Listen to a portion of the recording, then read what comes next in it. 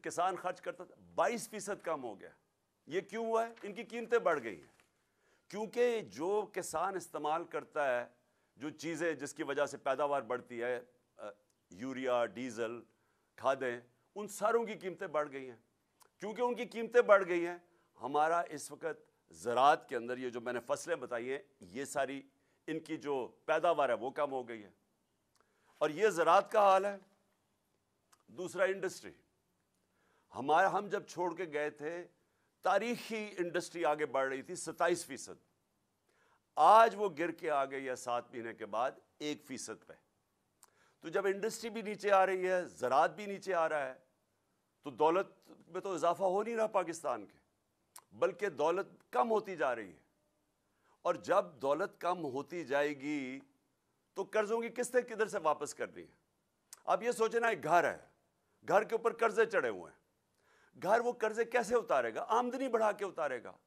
जब वो घर के सारे लोग मिलकर अपनी आमदनी के अंदर इजाफा करेंगे तो वो इजाफाई आमदनी के ज़रिए वो कर्जों की किस्तें वापस करेंगे। तो अगर घर की आमदनी कम हो जाए, वो कैसे कर्जे वापस करेगा? और जब वो कर्जे वापस नहीं करेगा, दुनिया कर्जे नहीं देगी। दुनिया कर्जे नहीं देगी तो हमारा सबसे बड़ा जो फिर से मैं कह रहा हूँ ख़तरा है, रुपए पे प्रेशर पड़ेगा। रुपया कमज़ोर होगा, जो हुआ है, इनके दौर में रुपया तारीखी गिरा है। तो रुपया जब गिरता है तो सारी चीज़ें महँगी हो जाती हैं, तेल, डीजल, बिजली, ये सब जब रुपया नीचे जाएगा, ये महँगे हो जाएँगे। और ये महँगाई जितनी बढ़ती जाएगी, गुर्बत बढ़ती जाएगी।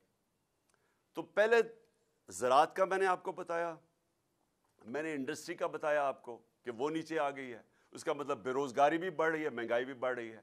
पचास साल में सबसे ज़्यादा महँगाई हुई। अब अमूमन तो हुकूमत को फ़िक्र करनी चाहिए। हुकूमत की तो सबसे ज़्यादा ज़ोर लगना चाहिए कि जो माशी बहरान आ रहा है, ये जो आगे तबाही आ रही है, हुकूमत को तो सारा वक्त इसके ऊपर ज़ोर देना चाहिए। लेकिन हुकूमत क्या कर रही है? हुकूमत सबसे पहले ये कोशिश कर रही है कि उनके जो, उनकी जो करप्शन के केस है, वो ख़त्म कैसे हों? ये कभी किसी मुल्क के अंदर ऐसे नहीं हुआ कि 1100 अरब रुपए के करप्शन के केस हैं जो नैब में पड़े हुए थे। 1100 अरब रुपए के। और इन्होंने असेंबली में बैठ के कानून पास किया है, जिससे इनमें हर किसी के जो बड़े बड़े डाकू हैं, इनके करप्शन केस ख़त्म हो रहे हैं अब। तो सबसे बड़ा इनका कारनामा ये है